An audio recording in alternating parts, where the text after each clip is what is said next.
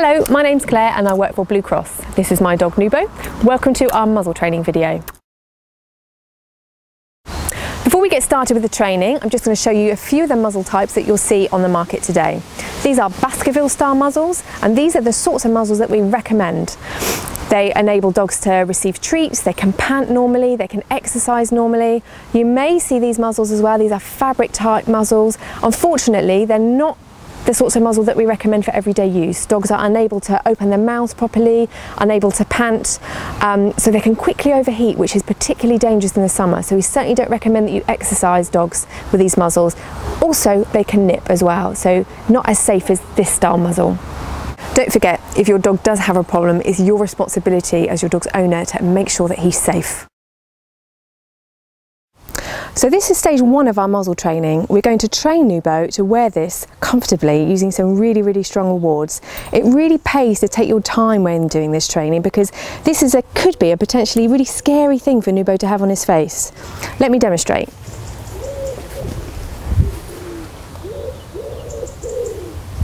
Scary, hey?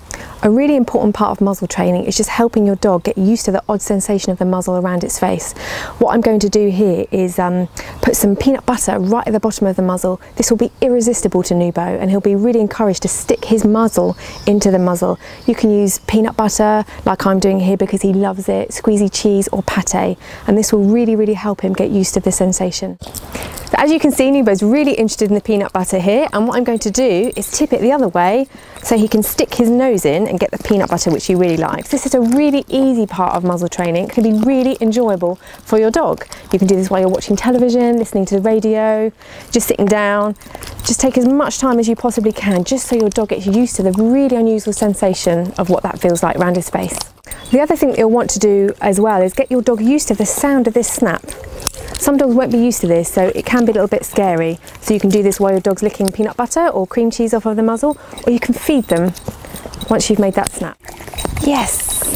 See what I'm doing here, Nubo is now used to putting his nose into the muzzle to lick the peanut butter.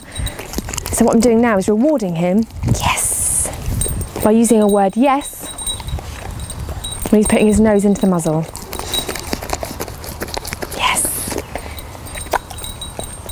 So he's learning that when he puts his nose in there, yes, not only does it taste good because there's a little bit of peanut butter in there, but I'm giving him an additional award of some nice tasty cheese. To make this a little bit harder for Nubo, what I'm going to do is move, yes, good boy. So I'm going to move the muzzle around so he has to put that extra bit of effort in. Yes. If you throw the treats away from you, encourages your dog to come back even more. Yes, good boy. So turning into a really nice game for him. His body language is lovely and soft. He's having fun. Good boy. Look at that lovely tail wag. Yes. So what I might want to do now is actually encourage him to keep his nose in there for a little bit longer before I reward him. Yes.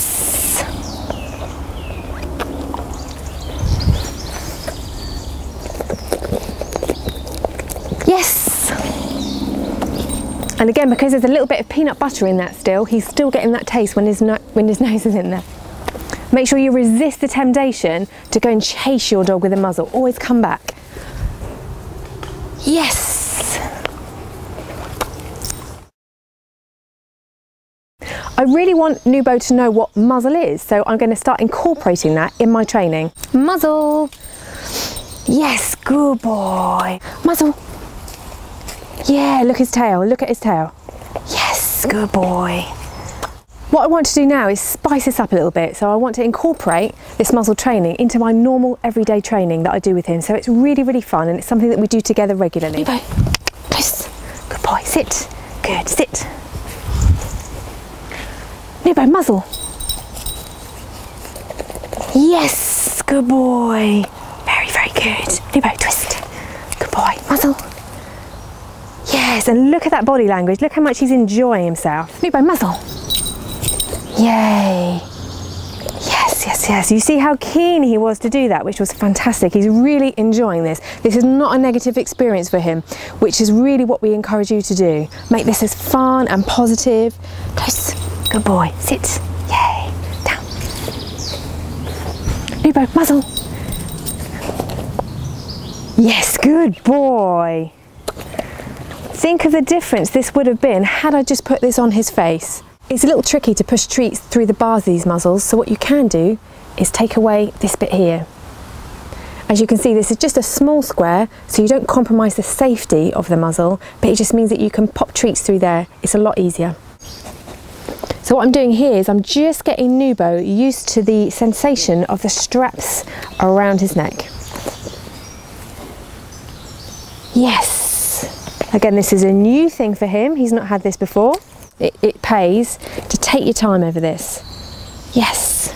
Some dogs might be a little bit uncomfortable because the muzzle strap is a lot higher. It rests a lot higher than a normal collar.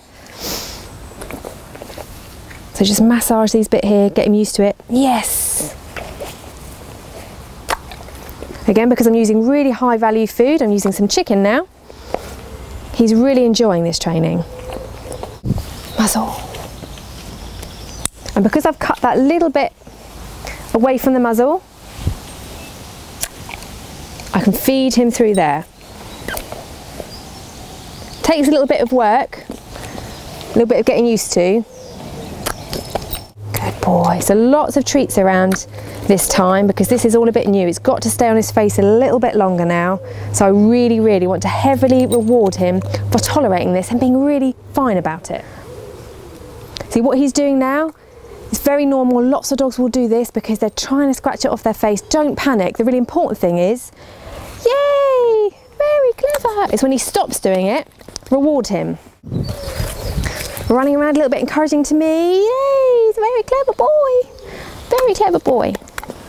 So what I'm going to do now is take the muzzle off and this is really important. What I don't want to do is really reward him when I take this off. Attention should stop now. I'm going to stop feeding him. He's a little bit disinterested in me now. All the fun and all the positivity comes from when he's got this on his face. Muzzle, yay, good boy. Dogs that wear muzzles generally need to be on the lead too, so it's really important that I incorporate the muzzle training with lead training. So let's go and do some. Come on, Noobs. Sometimes it takes a little bit of practice coordinating yourself and managing to put the treat through the muzzle whilst the dog's moving. So it's a good idea to ask them to sit and then feed them through the muzzle. For dogs that scrabble at the muzzle, try and get it off, a really good tip is to keep them moving. Noobs, come on, good boy. This really helps take their mind off what's actually occurring. Good boy. Muzzles do a lot more than stop dogs using their teeth. The best thing they do is that they act as a signal to other people that you're taking responsibility for an issue that your dog might have. For this reason, we recommend that you always choose a muzzle that will stand out on your dog. This dog is wearing a black muzzle, which is really hard to see. Compare it to the same dog wearing a muzzle that contrasts with the coat. It stands out from a distance. Look at this typical scenario. Nubo isn't wearing a muzzle here and the man with the other dogs is completely unaware that either he or his dogs might be at risk.